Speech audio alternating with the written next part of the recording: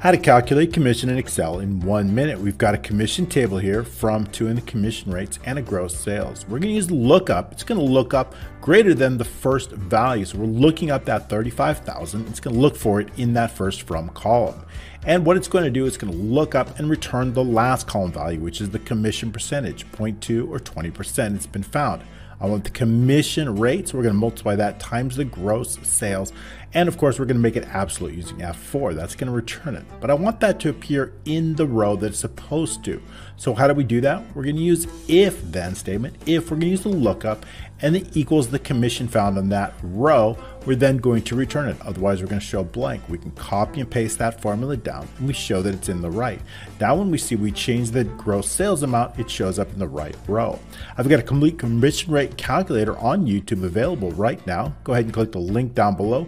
Thanks so much, and we'll see you next time.